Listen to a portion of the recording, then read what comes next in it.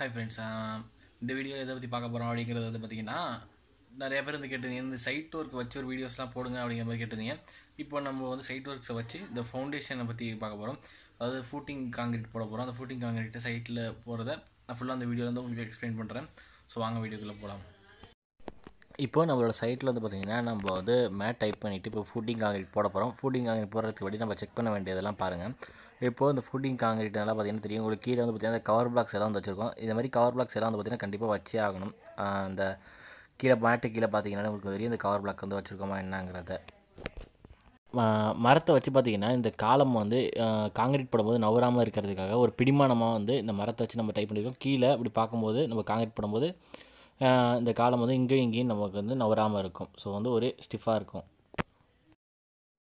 இப்போ இந்த காலத்தை வந்து பார்த்தீங்கன்னா அவங்க பெண்டு வந்து விளச்சி விட்ருப்பாங்க ஒரு ஒரு அடிக்கு வந்து விளச்சி விட்ருப்பாங்க இந்த காலத்தையும் பார்த்தீங்கன்னா சரி அந்த மேட்லேயும் பார்த்திங்கன்னா சரி ஒரு சின்ன பெண்டு மாதிரி விளச்சி விட்ருப்பாங்க எதுக்குன்னு வந்து காலத்துக்கும் மேட்டுக்கும் க்ரிப்பாக இருக்கணுங்கிறதுக்காக.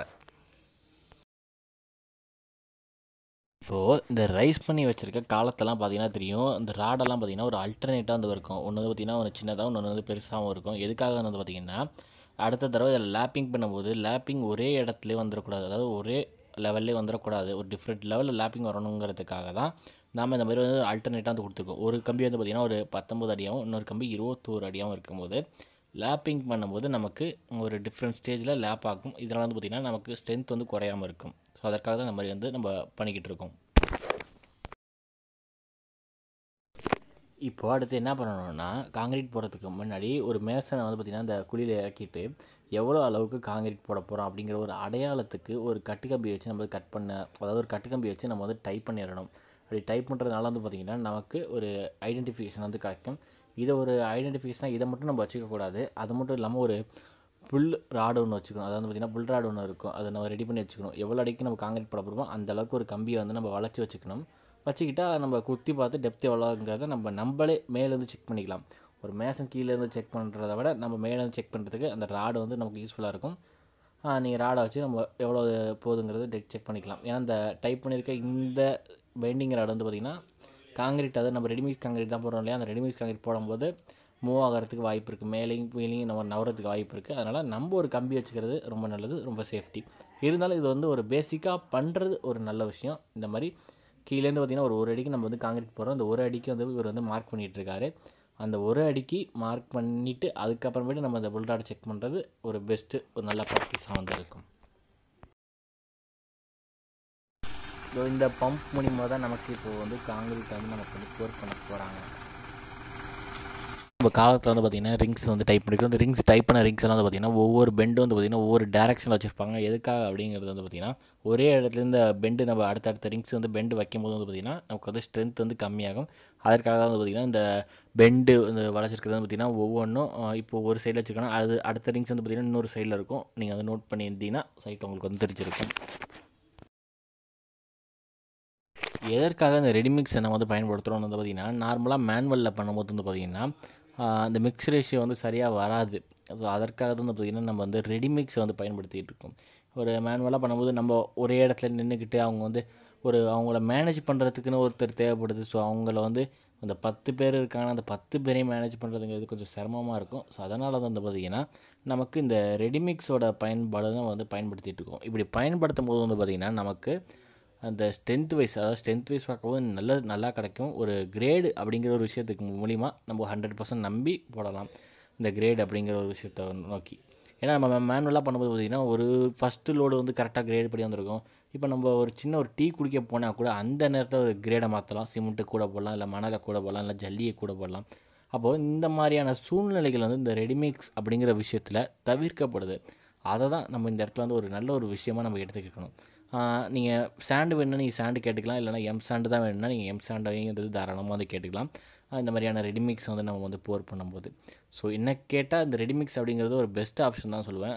தயவு செஞ்சு இந்த ரெடிமிக்ஸ் வந்து நல்லா இல்லை அப்படிங்கிறதுலாம் நிறைய பேர் சொல்கிறாங்க அப்படிலாம் இல்லை. ரெடிமிக்ஸுங்கிறது ஒரு பெஸ்ட்டான ஆப்ஷன் உங்களுக்கு நம்பிக்கை இல்லைன்னா நீங்கள் வந்து நேராக அவங்க வந்து பேட்ச் பண்ணும்போது பேட்ச் பண்ணும்போது நீங்கள் பிளான்ட்டுக்கே போய் நீங்கள் வந்து பார்த்துக்கலாம் அதாவது என்ன ரேஷியோவில் போடுறாங்க? ரிவர் சாண்டா எம் சாண்டா அப்படிங்கிறத நீங்கள் நேரில் பார்த்து தெரிஞ்சுக்கலாம்.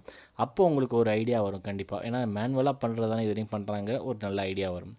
So ready mix is a good so நல்ல ப்ராக்டிஸ் ஸோ எல்லாம் ஃபாலோ பண்ணுறது இதில் இருக்க இன்னொரு நல்ல விஷயம் என்ன வந்து பார்த்திங்கன்னா இது ஃபாஸ்ட்டாக வந்து நமக்கு வந்து போர் பண்ணுறதுனால வந்து பார்த்திங்கன்னா இது ஆட்டோமேட்டிக்காக வந்து பார்த்திங்கன்னா தன்னே தானே காம்பேக்ட் பண்ணிக்கும். அப்போ அதுக்காக காம்பேக்ட் பண்ண வேணும்னு நான் வந்து சொல்லலை. காம்பேக்ட் பண்ணிக்கிறது ஒரு பெஸ்ட்டு இருந்தாலும் இது ஒரு ஆட்டோமேட்டிக்காக வந்து பார்த்திங்கன்னா இந்த ஃபோர்ஸில் வந்து பார்த்திங்கன்னா ஆட்டோமேட்டிக்காக வந்து நமக்கு வந்து ஆட்டோமேட்டிக்காக காம்பேக்ட் ஆகிடுது இருந்தாலும் நம்ம எக்ஸ்ட்ராவாக ஒரு லேபர் விட்டு காம்பேக்ட் பண்ணிக்கிறது ஒரு ரொம்ப நல்ல ப்ராக்டிஸாக வந்து இருக்கும் விஷயம்.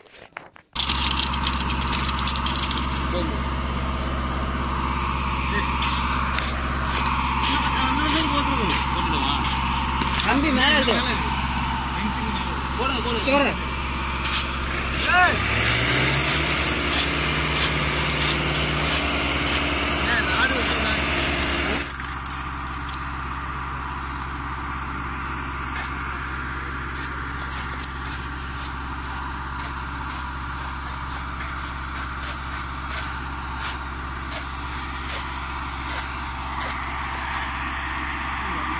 இப்படி காங்கிரீட்டை போர் பண்ணதுக்கப்புறமேட்டு நம்ம வந்து என்ன பண்ணது பார்த்தீங்கன்னா இந்த காங்கிரீட்டை மட்டை போடணும் மட்டை பண்ணுறதுக்கு வந்து பார்த்திங்கன்னா நம்ம கரணையை வச்சு ஒரு மேசன் வச்சு அந்த கரணையை வச்சு அவங்க வந்து பார்த்திங்கன்னா ஃபுல்லாக வந்து பார்த்திங்கன்னா பரவாயில்ல வந்து தேய்ச்சி விட்ருவாங்க இப்போ நீங்கள் பார்க்குறது வந்து பார்த்திங்கன்னா நம்ம மேசனை என்ன பண்ணுறாருன்னு வந்து பார்த்திங்கன்னா கரணையை வச்சு நம்ம வந்து கீழே வந்து தேய்ச்சி விட்டுட்ருக்காரு. அதாவது வந்து பார்த்திங்கன்னா ஒரு மட்டமாக இருக்கிறாரு ஒரு ரைஸ் அண்ட் ஃபால் இல்லாமல் ஒரு மேடு பள்ளம் இல்லாமல் வந்து மட்டமாக வந்து பார்த்திங்கன்னா நம்ம மேசனை வந்து கொண்டு வந்துட்டுருக்காரு ஸோ இதான் வந்து பார்த்திங்கன்னா ஃபஸ்ட்டு ஸ்டேஜாக வந்து பார்த்து காங்கிரீட் போட்டதுக்கு அப்புறமேட்டு பண்ணணும்.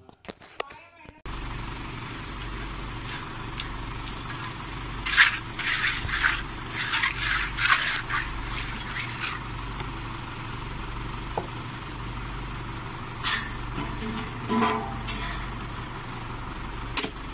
நம்ம வந்து பார்த்திங்கன்னா நம்ம கரணியை வச்சு நல்லா ரைஸ் அண்ட் ஃபால் இல்லாமல் நம்ம வந்து லெவல் பண்ணியாச்சு. அதுக்கப்புறமேட்டு வந்து பார்த்திங்கன்னா லெவல் பண்ணதை நம்ம வந்து ரன்னரை வச்சு இந்த மாதிரி வந்து பார்த்திங்கன்னா நமக்கு வந்து தட்டணும். இப்படி தட்டும்போது வந்து பார்த்திங்கன்னா ஒரு பிளெயின் சர்ஃபேஸ் வந்து நமக்கு வந்து கிடைக்கும். மேலே அந்த ஜல்லி எல்லாம் வந்து பார்த்திங்கன்னா நீட்டிட்டு இல்லாமல் ஒரு பிளெயினான ஒரு ஃபினிஷிங் வந்து நமக்கு வந்து கிடைக்கும். இந்த மாதிரி வந்து பார்த்திங்கன்னா நம்ம இந்த ரன்னரை வச்சு நம்ம தட்டிக்கிட்டே வரும்போது. ஸோ ஒரு மேஷன் வச்சு இந்த ரன்னரை வந்து நம்ம இப்படி தட்டிக்கிட்டே நம்ம வந்து கொண்டு வரணும். அப்போ தான் அது ஒரு நல்ல ஃபினிஷிங் வந்து நமக்கு வந்து வரும். ஜல்லி எல்லாம் மேலே வராமல் கொஞ்சம் அடித்து கீழே தள்ளுறதுக்கு ஒரு ரன்னர் வந்து யூஸ்ஃபுல்லாக இருக்கும் நிச்சயம்.